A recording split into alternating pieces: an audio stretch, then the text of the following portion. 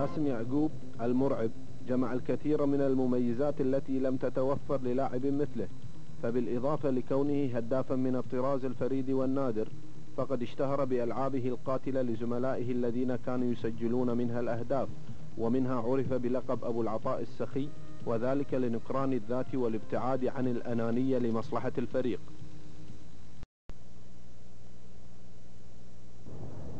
المرحلة الثانية كانت هي كأس العالم في إسبانيا. وطبعا بدينا سنة 1981 في الكويت التصفيات. وأيضا كانت مجموعة صعبة وكان معروف مقدما اللي يفوز بمجموعة يضمن وصوله إلى كأس العالم. وقدرنا نطوف مجموعتنا اللي فيها كوريا الجنوبية وتايلاند ماليزيا وانسحبت إيران.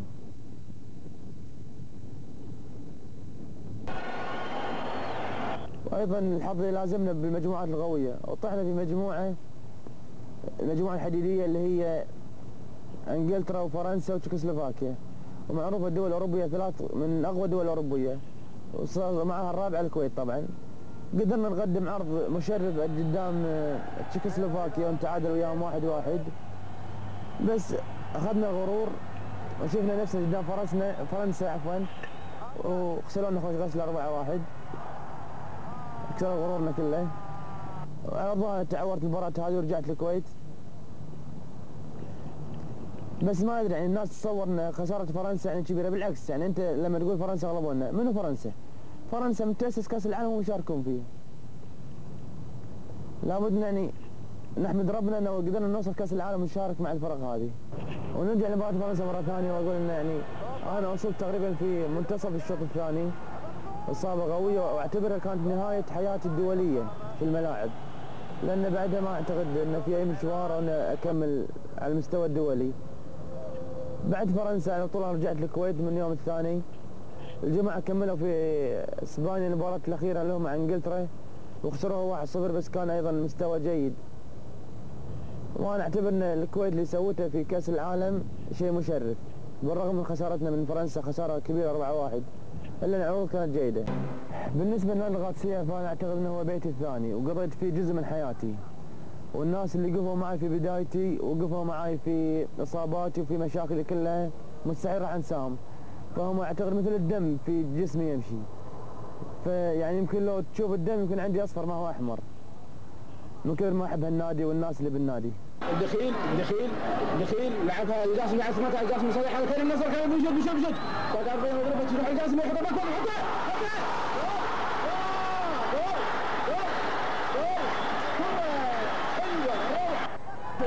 لعب إلى حمد أبو حمد فيصل الدخيل.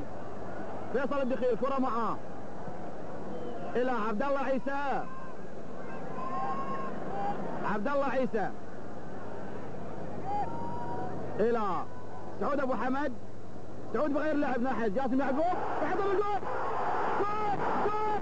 الله. خطأ. خطأ ابو المدافع الزمالك وان شاء الله علاقتي معهم راح تتم حتى إلى بعد الاعتزال. لأن جميل نادي الغادسيه وجمهور الغادسيه يعني دين في رقبتي ما انساه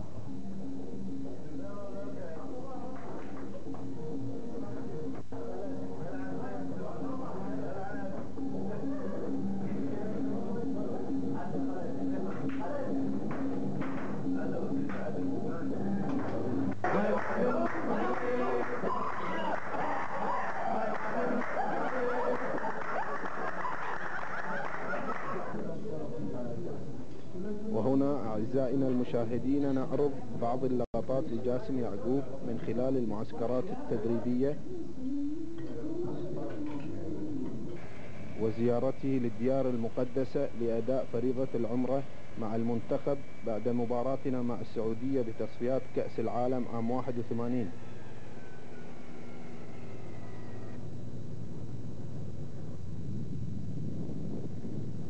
وأيضا مقابلته لصاحب السمو أمير البلاد المفدى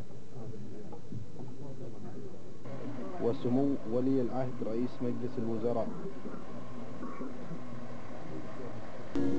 أود في النهاية أن أشكر كل من شاهد وساند وصفق لجاسم يعقوب سواء بالملاعب من المدرجات أو خلف الشاشات الصغيرة.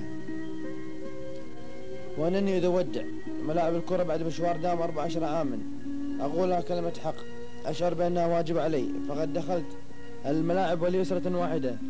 ولكن ولله الحمد خرجت منها الآن مطمئنا بأن لي, لي أكثر من أسرة. أب وأم وأخ وأخت في كل بيت. ذلك هو حب الجماهير الحب الحقيقي الذي لا حدود له.